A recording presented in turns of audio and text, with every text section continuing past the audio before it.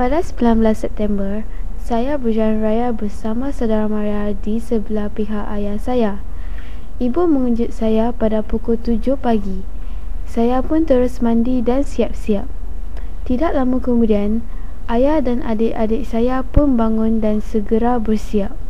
Setelah semua sudah sedia, kami langsung berangkat.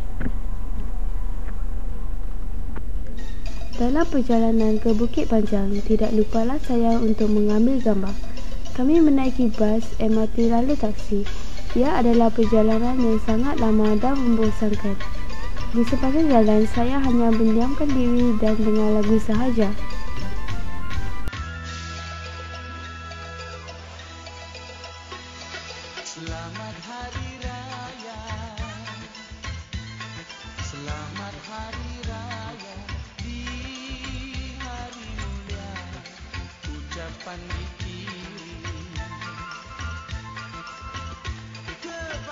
Akhirnya apabila kami sampai ke destinasi kami, kami bermaaf-maafan dan makan bersama.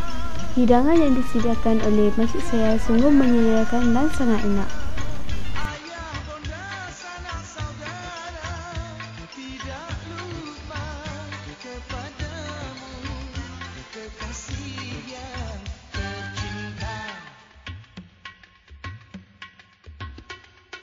Selamat Hari Raya. Selamat Hari Raya. Ku pohon ampun segala dosaku.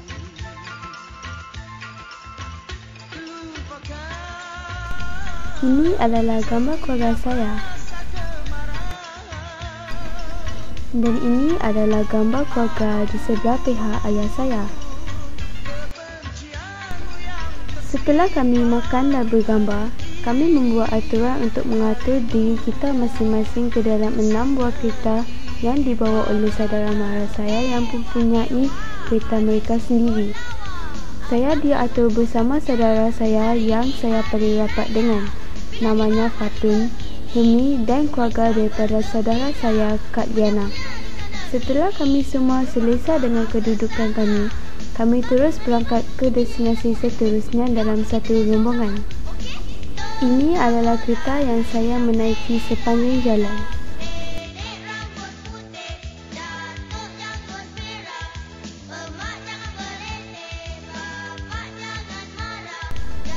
Kami langsungkan perjalanan kami ke rumah ibu makcik saya di Chua Chukang. Lalu kami ke rumah pakcik saya yang berada di daerah Chua Chukang juga. Masih di daerah Cecukang, kami semua pergi ke rumah makcik saya.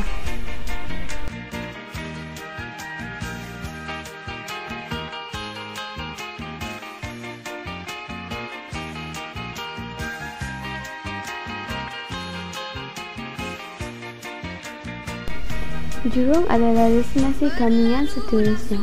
Di rumah itu terdapat 13 ikan luhan dan 9 kucing. Kucing-kucing itu sangat comel sekali.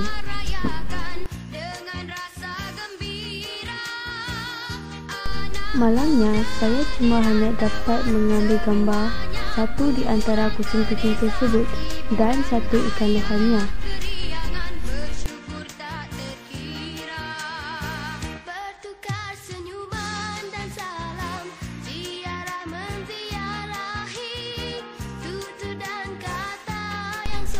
Setelah bersalaman, saudara saya Kak Yana sedang hamil tiba-tiba rasa tidak sedap badan.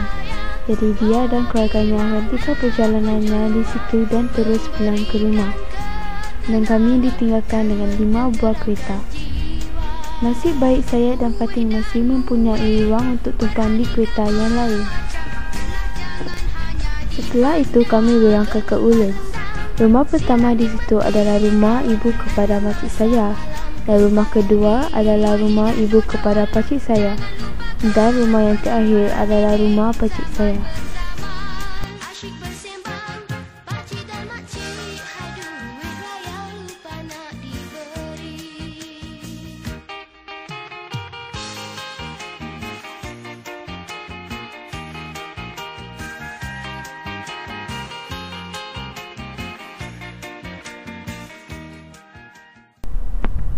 Kami berada di situ agak lama kerana semua peminat bola mahu menyaksikan pertandingan antara pasukan Manchester United dan Liverpool. Mereka terpekik tolong apabila pasukan kegemaran mereka menjarikan gol. Setelah pertandingan itu berakhir, kami pun membuat perjalanan pulang ke rumah. Pakcik saya yang baik hati sudi menghantar kami pulang. Saya amat berterima kasih dengannya. Akhirnya, kami sampai ke rumah. Saya mandi dan menyiapkan buku-buku dan barang-barang untuk keesokan harinya. Terima kasih.